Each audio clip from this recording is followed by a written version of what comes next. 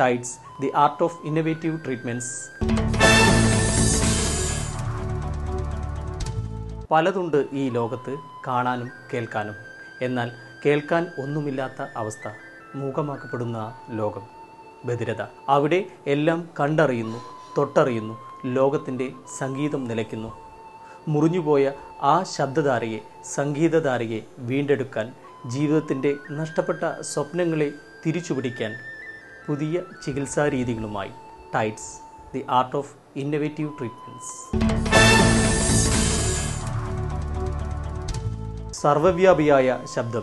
അത് രേഖപ്പെടുത്തുന്ന അമൂല്യ ഉപകരണം പോലുള്ള അവയവമാണ് നമ്മുടെ കാതുകൾ. ജന്മം കൊണ്ടോ മറ്റു കാരണങ്ങളാലോ കേൾവിക്ക് തകരാറു സംഭവിക്കുമ്പോൾ ആ വ്യക്തി ബാഹ്യലോകത്തുനിന്ന് പതിയെ പതിയെ അകലുന്നു. ഈ ലോകത്തെ കണ്ടും കേട്ടും ആസ്വദിക്കാൻ തുടങ്ങുന്ന പിഞ്ചു കുഞ്ഞു മുതൽ പ്രായമായവർ വരെ നേരിടുന്ന അവസ്ഥയാണ് ബധിരത. ഒരുപക്ഷെ ലോകത്തെ കണ്ടു മനസ്സിലാക്കുന്നതിനേക്കാൾ കേട്ട് മനസ്സിലാക്കുമ്പോഴാണ് വ്യക്തിക്ക് കാര്യങ്ങളെക്കുറിച്ച് ശരിയായ ഓർമ്മയും ധാരണയും ഉണ്ടാവുന്നത്. ഓർമ്മ വേണമെങ്കിൽ ശരിയായ ശ്രവണം അത്യന്താപേക്ഷിതമാണ്. ഇത് ഒരു ഓർമ്മപ്പെടുത്തലാണ്. ഒരുപക്ഷെ ജന്മന ബദിരത അനുഭവിക്കുന്നവർക്ക് വേണ്ടി അല്ലെങ്കിൽ പിന്നീട് ബദിരമാക്കപ്പെടുന്ന ചെറുപ്പത്തിനു വേണ്ടി. ശബ്ദവൈവിധ്യങ്ങളുടെ ലോകത്തെ ഒറ്റപ്പെടലാണ് ഭദ്രത. ഇന്ന് നമ്മുടെ സമൂഹത്തിൽ അനേക ലക്ഷം പേർ ഭദ്രത എന്ന രോഗം അനുഭവിക്കുന്നു. ബധിരത പലർക്കും പല തരത്തിലാണ് പ്രകടമാവുന്നത്. ഒന്ന് ചെറിയ കേൾവിക്കുറവായിട്ട്. മറ്റൊന്ന് പൂർണമായുള്ള ബധിരത ഓരോ കാലഘട്ടത്തിലും ഇതിന് പലതരത്തിലുള്ള ചികിത്സാ വഴികൾ കൊണ്ട് മറികടക്കാൻ വൈദ്യശാസ്ത്രം വഴികൾ കണ്ടെത്തിയിരുന്നു. ബധിരതയെ മറികടക്കാൻ ശസ്ത്രക്രിയ ഇല്ലാതെ എങ്ങനെ സാധിക്കും? ശ്രവണ സഹായികളുടെ സാധ്യതകൾ പ്രയോജനപ്പെടുത്തി കേൾവിക്കുറവിനെ ചികിത്സിക്കുന്ന പുതിയ ചികിത്സാ രീതിയുമായിട്ടാണ് ടൈറ്റ്സ് ഇന്ന് നിങ്ങളോടൊപ്പം ചേരുന്നത്. ബധിരതയ്ക്ക് അഥവാ കേൾവിക്കുറവിന് ഇത്തരം ചികിത്സാ രീതികൾ പരീക്ഷിക്കുന്നത് പ്രശസ്ത ഇ എൻ ടി വിദഗ്ധനായ ഡോക്ടർ ശങ്കർ. പ്രധാനമായും കേൾവിക്കുറവ് രണ്ട് തരത്തിലാണുള്ളത്. ഒന്ന് കണ്ടക്റ്റീവ് ഡെഫ്നസ് രണ്ട് sensory neural deafness. Conductive deafness എന്ന് പറയുന്നത് പുറമേയുള്ള ചെവിയിൽ എവിടെയെങ്കിലും ഭാഗത്ത് ക്ഷതമേറ്റിട്ടുണ്ടെങ്കിൽ അത് ക്ഷതം സംഭവിച്ചതാവാം അതല്ലെങ്കിൽ ചെവിയിൽ എന്തെങ്കിലും അടഞ്ഞു കിടക്കുന്നതാവാം. വളരെ കോമൺ ആയിട്ട് പറഞ്ഞു കഴിഞ്ഞാൽ ഈവൻ ചെപ്പി ഉള്ളിൽ വന്നു കഴിഞ്ഞാൽ കേൾവിക്കുറവ് വരും. അതല്ല മറ്റുള്ള എന്തെങ്കിലും ചെവിയിൽ ഫംഗസ് പോലുള്ള വന്നു കഴിഞ്ഞാൽ കേൾവിക്കുറവ് വരും. കർണപടത്തിന് എന്തെങ്കിലും സംഭവിച്ചിട്ടുണ്ടെങ്കിൽ കേൾവിക്കുറവ് വരും. ചെവിന്റെ കേൾവിയുടെ എല്ലുകൾക്ക് എന്തെങ്കിലും തകരാറ് സംഭവിച്ചിട്ടുണ്ടെങ്കിൽ കേൾവിക്കുറവ് വരും. ഇതെല്ലാം കണ്ടക്റ്റീവ് ഡെഫിനസിന്റെ അകത്ത് വരുന്ന സംഗതികളാണ്. കാഴ്ച പോലെ കേൾവി എന്നത് ഒരു മഹാപ്രതിഭാസം തന്നെയാണ്. പുറത്തുനിന്നു എത്തുന്ന ശബ്ദ തരംഗങ്ങളെ ബാഹ്യകർണങ്ങളിൽ എത്തി അവ ചെറിയ കുഴലിലൂടെ മധ്യകർണത്തിലൂടെ സഞ്ചരിച്ച് കർണപടത്തിലൂടെ ആന്തരിക കർണത്തിലെത്തുന്ന ശബ്ദ തരംഗങ്ങൾ കോക്ലിയെ ഉത്തേജിപ്പിക്കുന്നു. കോക്ലിയ പിന്നീട് ഈ ശബ്ദ തരംഗങ്ങളെ മാറ്റി നാഡീവ്യൂഹത്തിന് കൈമാറി തലച്ചോറിലേക്ക് സംക്രമിപ്പിക്കുന്നു. ബുദ്ധി അത് വിശകലനം ചെയ്ത് കേൾവി സാധ്യമാക്കുന്നു. രണ്ടാമത്തേത് പ്രധാനമായും ഞരമ്പിനെ ബാധിക്കുന്ന തരത്തിലുള്ള കേൾവിക്കുറവ് അതാണ് സെൻസറി ന്യൂറൽ ഡെഫ്നസ് എന്ന് പറയുന്നത്. ഞരമ്പിനെ ബാധിക്കുന്ന തരത്തിലുള്ള കേൾവിക്കുറവുകൾ ചികിത്സിച്ച് പൂർണമായി ഭേദപ്പെടുവാൻ സാധ്യത കുറവാണ്. ഞരമ്പിന് ക്ഷതമേൽക്കുന്ന സമയത്ത് വളരെ പെട്ടെന്ന് അതായത് ഒന്നുകിൽ ഇരുപത്തിനാല് മണിക്കൂർ അല്ലെങ്കിൽ മാക്സിമം പോയാൽ നാൽപ്പത്തെട്ട് മണിക്കൂറിനകം ഒരു ഡോക്ടറെ സമീപിക്കുകയും ഡോക്ടർ അത് മനസ്സിലാക്കുകയും ചെയ്യുകയാണെങ്കിൽ മാത്രം അത് ചികിത്സിച്ച് അത് റിക്കവറി ആവാനുള്ള സാധാരണ നിലയിലാവാനുള്ള സാധ്യത ഉണ്ട്. അതേസമയം സമയം കഴിയും തോറും ഞരമ്പിന്റെ കേൾവിക്കുറവ് പിന്നീട് തിരിച്ച് നോർമൽ സ്റ്റേജിലേക്ക് വരാൻ സാധ്യത വളരെ കുറവാണ്. ലോകത്ത് ഇന്നുള്ള കേൾവിക്കുറവിന് പലതരത്തിലുള്ള കാരണങ്ങൾ വൈദ്യശാസ്ത്രം മുന്നോട്ട് വയ്ക്കുന്നു. ജന്മനാലുള്ള കേൾവിക്കുറവ് ഒരുപക്ഷെ പിന്നീടുള്ള രോഗബാധയിൽ നിന്നും ഇത് വന്നേക്കാം. ചെവിയുടെ പുറംഭാഗം മുതൽ ഉൾച്ചെവി വരെയുള്ള ഭാഗങ്ങളിൽ സംഭവിക്കുന്ന വൈകല്യങ്ങളോ രോഗാണുബാധയോ മറ്റൊരു തരത്തിലുള്ള ബധിരതയ്ക്ക് കാരണമാകുന്നു. ഇങ്ങനെ ബധിരതയുടെ അവസ്ഥാന്തരങ്ങൾ നിരവധിയാണ്. ബാഹ്യകർണങ്ങളിൽ ഉണ്ടാവുന്ന ബധിരതയാണ് കണ്ടക്റ്റീവ് ഡെഫ്നെസ് എന്ന് പറയുന്നത്. മൂന്നാമത്തെ തരം കേൾവിക്കുറവാണ്. ഇത് രണ്ടിനും കൂടി ഒരുമിച്ച് വരുന്ന കേൾവിക്കുറവ്. ചില സമയത്ത് കേൾവി ചെവിയിലെ പഴുപ്പ് അനിയന്ത്രിതമായി കഴിഞ്ഞാൽ അത് ചെവിന്റെ ഉള്ളിൽ ബാധിക്കുകയും ഞരമ്പിന് കേൾവി വരികയും ചെയ്യും. അതുപോലെ തന്നെ ഓട്ടോസ്ക്ലറോസിസ് എന്നുള്ള അസുഖം ബാധിച്ചവർക്ക് ചെവിന്റെ കേൾവിന്റെ എല്ല് ഉള്ളിൽ സ്റ്റേപ്പീസ് എന്നുള്ള എല്ല് ഉള്ളിൽ ഒട്ടിപ്പിടിക്കുകയും ആ അസുഖം പതുക്കെ ഉള്ളിലേക്ക് പോയി കോക്ലിയ ഡാമേജ് ആവുകയും ചെയ്തു കഴിഞ്ഞാലും ഈ രണ്ടും കണ്ടക്റ്റീവ് ഡെഫ്നസ്സും സെൻസറി ന്യൂറൽ ഡെഫ്നസ്സും ഒരുമിച്ച് വരും. അങ്ങനെയുള്ള കേൾവിക്കുറവിനെ മിക്സഡ് ടൈപ്പ് ഓഫ് ഡെഫ്നസ് എന്ന് പറയും. ചെവിയുടെ മർമ്മം എന്ന് പറയുന്നത് അതിന്റെ ആന്തരിക ഭാഗത്താണ്. അവിടെയാണ് അതിപ്രധാനമായ ശ്രവണ നാടികളും കോക്ലിയയും സ്ഥിതി ചെയ്യുന്നത്. ചെവിയുടെ ഇത്തരം ആന്തരിക ഭാഗത്ത് ഉണ്ടാവുന്ന വ്യതിരതയാണ് സെൻസറി നെർവ് ഡെഫ്നെസ് എന്ന് പറയുന്നത്. എന്നാൽ മറ്റു ചില സന്ദർഭങ്ങളിൽ ചില മരുന്നുകളുടെ ഉപയോഗം ചെവിക്കുള്ളിലെ പഴുപ്പ് എന്നിങ്ങനെയുള്ള കാരണങ്ങളാലും ബദിരത കാണപ്പെടുന്നു. ഞരമ്പിനെ ബാധിക്കുന്ന കേൾവിക്കുറവിന് കാരണങ്ങൾ പലതുണ്ട്. ഒന്ന് ജന്മനാ ഉണ്ടാകുന്ന കേൾവിക്കുറവ്. രണ്ട് കുട്ടികളിൽ ഉണ്ടാകുന്ന വൈറൽ പനികൾ വൈറൽ ഇൻഫെക്ഷൻസ്. തലച്ചോറിനെ ബാധിക്കുന്ന പനി മെനിഞ്ചൈറ്റിസ്. അത് എച്ച് ഇൻഫ്ലുവൻസ എന്ന ബാക്ടീരിയ മൂലമുണ്ടാകുന്ന മെനിഞ്ചൈറ്റിസ് രോഗം. അതുപോലെ കുട്ടികളിൽ ഉണ്ടാക്കുന്ന മുണ്ടിവീക്കം. പലപ്പോഴും ഞരമ്പിനെ ബാധിക്കും കേൾവിന്റെ ഞരമ്പിനെ ഒരുപോലെ ബാധിക്കുകയും അതിനെ തളർത്തിക്കളയുകയും ചെയ്യും. ആന്തരിക കാരണങ്ങളിലെ ഞരമ്പുകളെയും ബാധിക്കുന്ന കേൾവിക്കുറവിനെ മാറ്റാൻ ഇന്നുവരെ വളരെ പ്രചാരത്തിലിരിക്കുന്ന ചികിത്സാ മാർഗമായിരുന്നു ശസ്ത്രക്രിയ. കേൾവിക്കുറവ് എന്ന് പറഞ്ഞാൽ തന്നെ ശസ്ത്രക്രിയ മാത്രമായിരുന്നു പരിഹാരം. എന്നാൽ ഇന്ന് അവസ്ഥ മാറിയിരിക്കുന്നു. ഞരമ്പിനെ ബാധിക്കുന്ന കേൾവിക്കുറവ് പ്രധാനമായും അത് രോഗികൾ വരുത്തുന്നത് മാറ്റം. ഒന്ന് കേൾവിക്കുറവ് തന്നെ ആവണമെന്നില്ല. ശബ്ദം തിരിച്ചറിയാനുള്ള ബുദ്ധിമുട്ട്. പ്രധാനമായും നോയ്സി എൻവയോൺമെന്റിൽ അതായത് വളരെയധികം ശബ്ദം ഉള്ള മറ്റുള്ള ശബ്ദങ്ങളൊക്കെ കൂടിയുള്ള സ്ഥലത്ത് ഒരു പ്രത്യേക ആളുടെ ശബ്ദം ഒരു പ്രത്യേക ശബ്ദം തിരിച്ചറിയാനുള്ള ബുദ്ധിമുട്ട് രോഗിക്ക് അനുഭവപ്പെടുക. അതുപോലെ തന്നെ ചെവിന്റെ ഉള്ളിൽ തുടർച്ചയായി മൂളിച്ച അനുഭവപ്പെട്ടുകൊണ്ടിരിക്കുക. ചെവി അടഞ്ഞിരിക്കുക. രോഗിക്ക് ഫോണിൽ സംസാരിക്കുമ്പോൾ ബുദ്ധിമുട്ട് അനുഭവപ്പെടുക. ടി വിന്റെ വോളിയം കൂട്ടി കൂടുതലായി വച്ച മറ്റുള്ളവരെക്കാൾ കൂടുതൽ വേണ്ടി വരിക. ഇങ്ങനെയൊക്കെയുള്ള കാര്യങ്ങൾ പേഷ്യൻസ് രോഗിക്ക് ഉണ്ടാവുകയാണെങ്കിൽ അത് ഞരമ്പിനെ ബാധിക്കുന്ന കേൾവിക്കുറവാവാനാണ് കൂടുതൽ സാധ്യത. ഇന്ന് കേൾവിക്കുറവ് ശ്രവണസഹായി ഉപയോഗപ്പെടുത്തിക്കൊണ്ടുള്ള ചികിത്സാരീതി കുട്ടികളിലും പ്രായമായവരിലും ഒരേപോലെ പ്രയോജനം ചെയ്യുന്നു. കേൾവിക്കുറവ് ഉണ്ടെങ്കിൽ ശസ്ത്രക്രിയ ഭയന്ന് പലരും അസുഖം മൂടിവെക്കുന്നു. എന്നാൽ എത്ര നാൾ ഇത് മൂടിവെക്കാൻ സാധിക്കും? ഉൾച്ചെവിയിലെ ഞരമ്പുകൾക്ക് പിടിപെടുന്ന ബധിരതയെ ശസ്ത്രക്രിയ ഇല്ലാതെ ശ്രവണസഹായി കൊണ്ടുള്ള ചികിത്സ വളരെ ഫലപ്രദമാണ് എന്നാണ് ഈ ചികിത്സാരീതി പരീക്ഷിക്കുന്ന ഡോക്ടർ ശങ്കർ പറയുന്നത്. ഒരു രോഗിക്ക് ഞരമ്പിനെ ബാധിക്കുന്ന കേൾവിക്കുറവാണ് എന്നുള്ളത് നമ്മൾ സ്ഥിരീകരിച്ചു കഴിഞ്ഞാൽ ആ രോഗിക്ക് ഇനി വേണ്ടത് ഹിയറിംഗ് എയ്ഡ് ആണ് എന്നുള്ള ഒരു തീരുമാനം എടുത്തു കഴിഞ്ഞാൽ ഇനി ചെയ്യേണ്ടത് ഹിയറിംഗ് എയ്ഡ് ട്രയൽ ചെയ്യുക എന്നുള്ളതാണ്. ഹിയറിംഗ് എയ്ഡ് ട്രയൽ എന്നതുകൊണ്ട് ഉദ്ദേശിക്കുന്നത് ഏത് തരത്തിലുള്ള ഹിയറിംഗ് എയ്ഡ് ആണ് ഈ രോഗിക്ക് പറ്റുക എന്നുള്ളത് നോക്കാൻ വേണ്ടിയിട്ടാണ് നമ്മൾ ഹിയറിംഗ് എയ്ഡ് ട്രയൽ എന്നുള്ള ടെസ്റ്റ് ചെയ്യുന്നത്. ഈ ടെസ്റ്റ് ചെയ്യുന്ന വഴി രോഗിക്ക് കേൾവിക്കുറവിനും അവരുടെ ജീവിതശൈലിക്കും അനുസരിച്ചുള്ള ഒരു ഹിയറിംഗ് എയ്ഡ് നമുക്ക് തിരഞ്ഞെടുക്കാൻ പറ്റും. ഉദാഹരണം വളരെ പ്രൊഫൗണ്ടായിട്ട് ഡഫുള്ള ഒരാൾ നമ്മൾ സാധാരണ ഒരു ഹിയറിംഗ് എയ്ഡ് അവർക്ക് പ്രിസ്ക്രൈബ് ചെയ്ത് വെച്ചതുകൊണ്ട് അവർക്ക് യാതൊരു ഗുണവും ഉണ്ടാവാൻ പോകുന്നില്ല. കാരണം ആ രോഗി ആ ഹിയറിംഗ് എയ്ഡ് ഉപയോഗിക്കാൻ പോകുന്നില്ല. കാരണം അത് കേൾക്കില്ല ആ രോഗിക്ക്. ആ രോഗിയെ സംബന്ധിച്ചിടത്തോളവും അവർക്ക് വേണ്ടത് വളരെ പവർഫുൾ ആയിട്ടുള്ള ഒരു ഹൈ പവർ മെഷീനാണ് ആ രോഗിക്ക് വേണ്ടത്. അപ്പം അതിന് പകരം നമ്മൾ സാധാരണ ഒരു ഹിയറിംഗ് എയ്ഡ് കൊടുത്തു കഴിഞ്ഞാൽ ആ രോഗിക്ക് തീരെ ഫലമുണ്ടാവില്ല. ശ്രവണ സഹായി ഉപയോഗപ്പെടുത്തിക്കൊണ്ടുള്ള കേൾവി പരിശോധനാ രീതിയിൽ വളരെ പ്രധാനപ്പെട്ട ഒന്നാണ് കേൾവി പരിശോധന. ഇത് ഏറ്റവും നല്ല രീതിയിൽ സജ്ജമാക്കപ്പെട്ട സൗകര്യത്തോടുകൂടിയ ഓഡിയോ ഗവേഷണം ഇതിന് അത്യന്താപേക്ഷിതമാണ്. കാരണം ഏതു തരത്തിലുള്ള ഭദ്രതയാണ് എവിടെയാണ് എന്നൊക്കെ വളരെ സൂക്ഷ്മമായി അറിഞ്ഞാൽ മാത്രമേ ഏതു തരത്തിലുള്ള ശ്രവണ സഹായി വേണം എന്നൊക്കെ ചികിത്സകന് പറയാൻ സാധിക്കുകയുള്ളൂ. ഈ ഹിയറിംഗ് എയ്ഡ് ട്രയൽ ചെയ്യേണ്ടത് എപ്പോഴും ഒരു നല്ല ഒരു ഒരു ഓഡിയോളജി സെന്ററിൽ നിന്ന് വേണം ഇത് ചെയ്യാനായിട്ട്. ആ സെന്ററിൽ നല്ല ഓഡിയോഗ്രാം ചെയ്യാനുള്ള സൗകര്യം വേണം. പ്രിഫറബിളി അതൊരു ട്വിൻ റൂം സെറ്റപ്പിലായിരിക്കണം അത് ചെയ്യേണ്ടത്. ട്വിൻ റൂം സെറ്റപ്പ് എന്ന് പറഞ്ഞാൽ പേഷ്യന്റ് ഒരു റൂമിലായിരിക്കും ഓഡിയോളജിസ്റ്റ് ടെസ്റ്റ് ചെയ്യുന്ന ആൾ മറ്റൊരു മുറിയിലുമായിരിക്കും. കാരണം ഇവർ തമ്മിലുള്ള ആംഗ്യ വിക്ഷേപങ്ങൾ ഒരിക്കലും രോഗി മനസ്സിലാക്കാൻ പാടില്ല. അതിനുവേണ്ടിയാണ് ഈ ട്വിൻ റൂം സെറ്റപ്പ് വെച്ചിരിക്കുന്നത്. അവിടെ വേണം അത് പ്രോപ്പറായി സൗണ്ട് ട്രീറ്റ് ചെയ്തിട്ടുള്ള ഒരു ഓഡിയോളജി റൂം ആയിരിക്കണം. ഹിയറിംഗ് എയ്ഡ് ട്രയൽ ടെസ്റ്റ് കഴിഞ്ഞാൽ ഹിയറിംഗ് എയ്ഡ് ചൂസ് ചെയ്യുക എന്നുള്ളതാണ്. അപ്പോൾ ഇതിന് സഹായിക്കുന്നതാണ് ഒരു ഓഡിയോളജിസ്റ്റിന്റെ ധർമ്മം.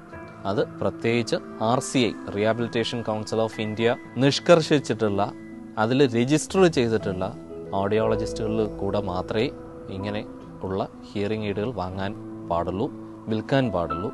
അത് ആർ സി ഐ പ്രത്യേകമായി പറഞ്ഞിട്ടുള്ള കാര്യമാണ്.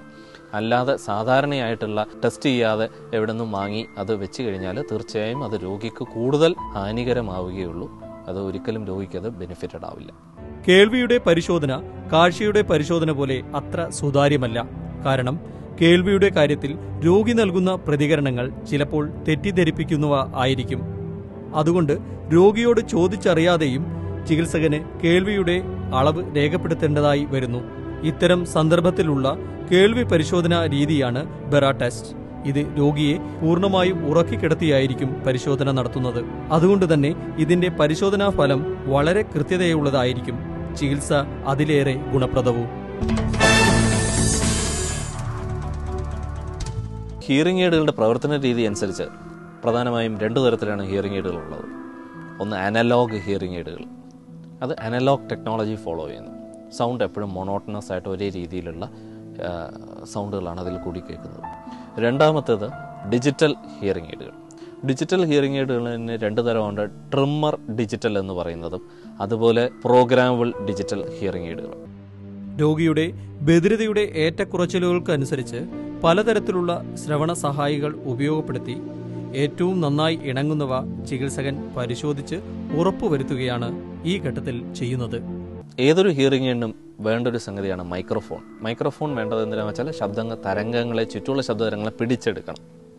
ഈ ശബ്ദതരങ്ങളെ മൈക്രോഫോൺ വഴി പിടിച്ചെടുക്കുകയും ശബ്ദതരങ്ങളിൽ നിന്നും ഇതിനെ ഇലക്ട്രിക്കൽ തരംഗങ്ങളാക്കി ഇത് മാറ്റുകയും ചെയ്യും. ഇത് നേരെ ഇയറിംഗ് എയ്ഡുകളിൽ ഒരു ആംപ്ലിഫയർ ഉണ്ട് ഉള്ളിൽ. ഈ ആംപ്ലിഫയർ ശബ്ദതരങ്ങളെ ശബ്ദം ഈ ഇലക്ട്രിക്കൽ ഇമ്പൾസസിനെ ആംപ്ലിഫൈ ചെയ്യുന്നു. ആംപ്ലിഫൈ ചെയ്ത് കഴിഞ്ഞാൽ ഈ തരംഗങ്ങൾ നേരെ ഇതിനുള്ളിൽ റിസീവറുണ്ട് റിസീവറിനകത്ത് കിടക്കുകയും ഈ റിസീവർ അതിൽ നിന്നും ശബ്ദ തരംഗങ്ങളെ വീണ്ടും ഈ ഇലക്ട്രിക്കൽ ഇമ്പൾസിനെ വീണ്ടും ശബ്ദ തരംഗങ്ങളാക്കുകയും അത് ചെവിയിനുള്ളിലേക്ക് അയക്കുകയും ചെയ്യും. കേൾവിയുടെ അനന്ത സാധ്യതകളെ പ്രദാനം ചെയ്യുന്ന ശാസ്ത്ര സാങ്കേതിക മുന്നേറ്റങ്ങളാണ് ഇന്ന് ലോകത്ത് ഉണ്ടായിരിക്കുന്നത്.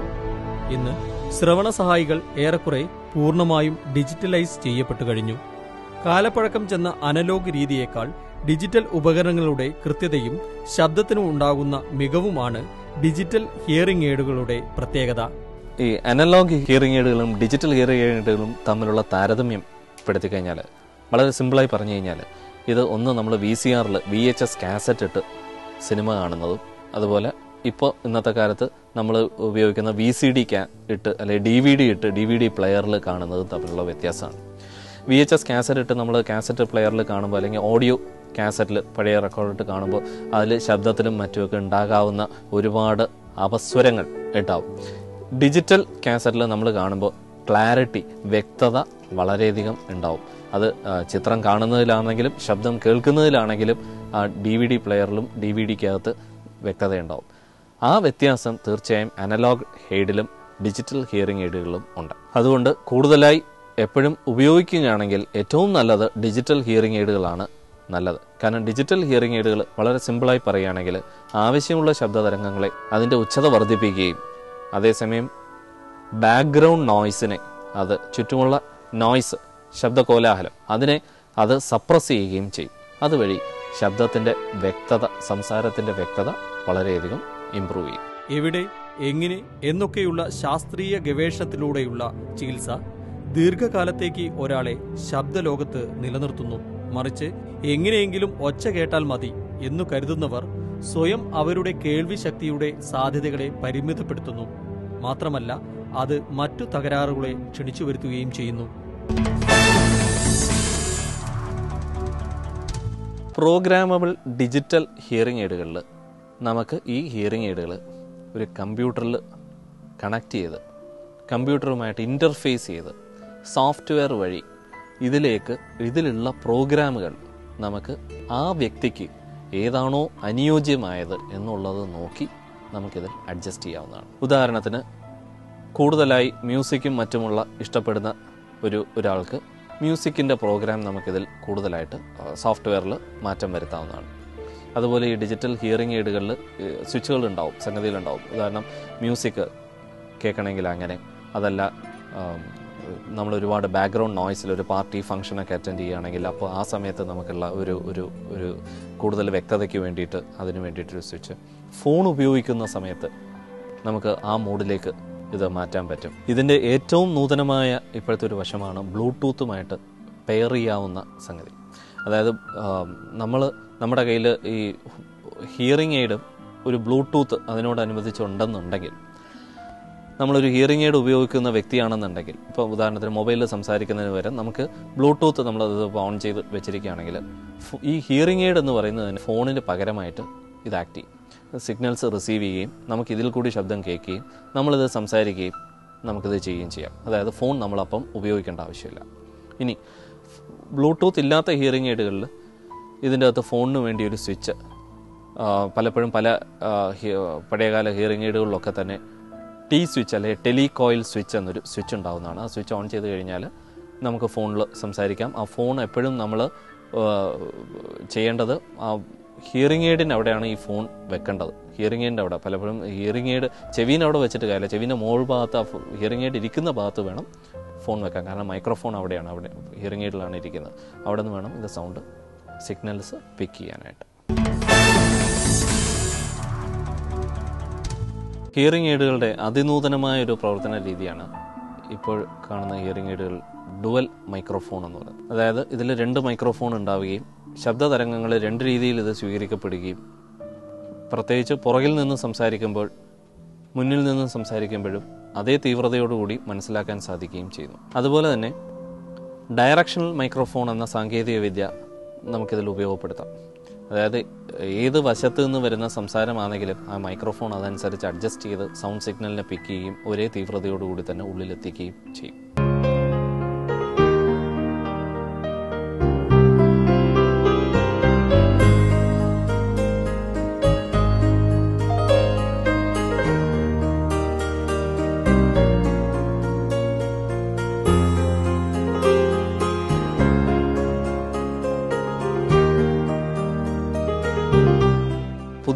സാങ്കേതിക വിദ്യയാണ് എഫ് എം ലിസണിംഗ് സിസ്റ്റം. ഈ സിസ്റ്റം കൊണ്ട് ഉദ്ദേശിക്കുന്നത് ക്ലാസ് മുറികളിൽ പ്രത്യേകിച്ച് സ്കൂളിലും മറ്റുമൊക്കെ ഭദ്രത അനുഭവിക്കുന്ന കുട്ടികൾ. ടീച്ചർമാർ ഇത് ഭദ്രത അനുഭവിക്കുന്ന ഒരു കൂട്ടം കുട്ടികളുണ്ടെങ്കിലും അതല്ല ഭദ്രത സ്കൂളിലാണെങ്കിലും അതല്ല വളരെ കുറച്ച് കുട്ടികളുണ്ടെങ്കിലും ഒക്കെ നമുക്ക് ഈ എഫ് എം ലിസണിംഗ് സിസ്റ്റം ഉപയോഗപ്പെടുത്താം. ഇതിൽ സ്കൂളിൽ അതിനുള്ള ഇൻഫ്രാസ്ട്രക്ചർ വേണമെന്ന് മാത്രം.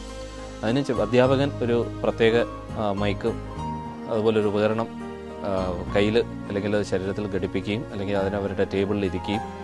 ഈ ഹിയറിംഗ് എയ്ഡ് ധരിച്ചിരിക്കുന്ന കുട്ടി ഹിയറിംഗ് കുട്ടി ഹിയറിംഗ് എയ്ഡ് ധരിച്ചിട്ടുണ്ടാവണം.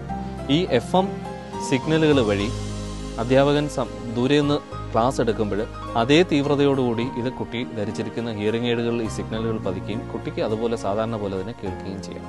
നിർഭാഗ്യവശാൽ ഇന്ത്യയിൽ ഇതുവരെ ഈ സിസ്റ്റം എത്തിയിട്ടില്ല. പക്ഷേ വിദേശ രാജ്യങ്ങൾ പലതും ബധിരരായിട്ടുള്ള കുട്ടികളിൽ ഈ സിസ്റ്റം വഴിയാണ് അവർ ക്ലാസ് മുറികളിൽ ഇരിക്കുകയും ക്ലാസ്സിൽ പാർട്ടിസിപ്പേറ്റ് ചെയ്യുകയും ചെയ്യുന്നത്. ഇങ്ങനെയുള്ള കുട്ടികൾക്ക് സാധാരണ കുട്ടികളെ പോലെ തന്നെ ക്ലാസ്സുകളിൽ പഠിക്കുകയും സാധാരണ ക്ലാസ്സുകളിൽ പഠിക്കുകയും അവർക്ക് നല്ല രീതിയിൽ ഉയർന്ന രീതിയിൽ മാർക്ക് വാങ്ങിക്കുകയും ചെയ്യും.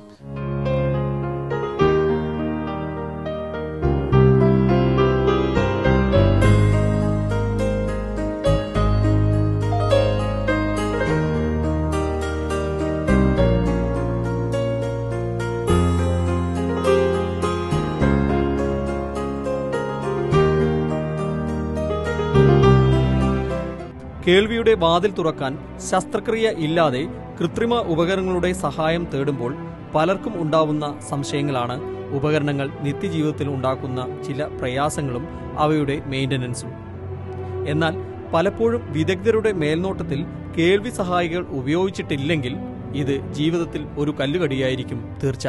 ശ്രവണ സഹായി ഉപയോഗിക്കുമ്പോൾ ശ്രദ്ധിക്കേണ്ട ചില കാര്യങ്ങളുണ്ട്. ഏറ്റവും പ്രധാനപ്പെട്ടത് നനയാതെ സൂക്ഷിക്കുക വെള്ളം വീഴുന്നത് നനയാതെ സൂക്ഷിക്കുക. ഇതിനുള്ളിൽ ഇലക്ട്രിക് സർക്യൂട്ടുകളാണ് നനഞ്ഞു കഴിഞ്ഞാൽ തീർച്ചയായും ഇത് നമ്മുടെ മൊബൈലോ മറ്റുള്ള ഇലക്ട്രോണിക് ഉപകരണങ്ങളോ പോലെ തന്നെ ഇത് കേടായി പോകും.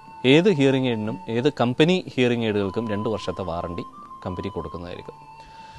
ഈ ഹിയറിംഗ് എയ്ഡുകൾ ചില കമ്പനികളിൽ ഇതിന് ഒരു പ്രത്യേക ബോക്സ് അതിനുള്ളിൽ സിലിക്ക പോലുള്ള ജെല്ലുകൾ അതായത് ഹ്യൂമിഡിഫയർ മോ മോയ്സ്ചർ അബ്സോർവ് ചെയ്യാൻ വേണ്ടിയിട്ടുള്ള ജെല്ലുകൾ അതിന്റെ അകത്ത് ഉണ്ടാവും. അപ്പോൾ അങ്ങനെയുള്ള കമ്പാർട്ട്മെന്റിൽ സൂക്ഷിക്കാൻ ആവശ്യപ്പെടുകയാണെങ്കിൽ നിങ്ങൾ ആ ഹിയറിംഗ് എയ്ഡുകൾ അങ്ങനെ തന്നെ സൂക്ഷിക്കാവുള്ളൂ. രാത്രിയാകുമ്പോഴത്തേക്ക് അതിൽ തന്നെ വെക്കുക. ഇന്ന് ലഭ്യമാക്കപ്പെട്ടിട്ടുള്ള ഡിജിറ്റൽ ഹിയറിംഗ് എയ്ഡുകൾ പ്രവർത്തനശേഷിയിൽ വളരെയധികം മികവ് പ്രകടിപ്പിക്കുന്നുണ്ട്.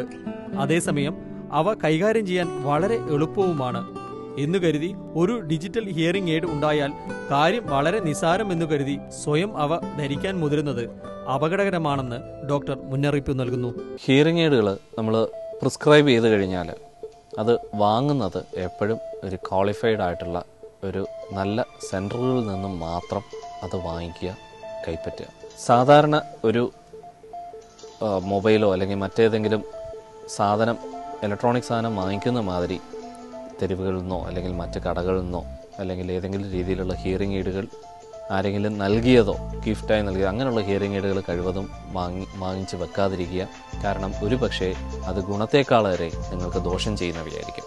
ശരിയായ രീതിയിലുള്ള കേൾവി പരിശോധനാ മാർഗങ്ങളും ഏറ്റവും നല്ല ശ്രവണ സഹായികളുമാവുമ്പോൾ ബധിരത എന്നത് ശസ്ത്രക്രിയ ഇല്ലാതെ ഒരു പരിധിവരെ ശബ്ദത്തിന്റെ ലോകത്തേക്ക് സംഗീതത്തിന്റെ ലോകത്തേക്ക് ഒരാളെ നയിക്കാൻ കഴിയും എന്ന കാഴ്ചപ്പാടാണ് ഡോക്ടർ ശങ്കറിന്റെത് ശസ്ത്രക്രിയയോ മറ്റു ബുദ്ധിമുട്ടുകളോ ഒന്നും ഇല്ലാതെ ബധിരതയെ എങ്ങനെ മറികടക്കാം എന്ന ഡോക്ടർ ശങ്കറിന്റെ കാഴ്ചപ്പാടാണ് ഈ മേഖലയിൽ അദ്ദേഹത്തെ വ്യത്യസ്തനാക്കുന്നത്. ഈ പരിപാടികളെക്കുറിച്ചുള്ള നിങ്ങളുടെ അഭിപ്രായങ്ങളും നിർദ്ദേശങ്ങളും ഞങ്ങളെ എഴുതി അറിയിക്കുക. To the research officer tights tights at Yahoo dot com phone double nine four seven one two three two double three.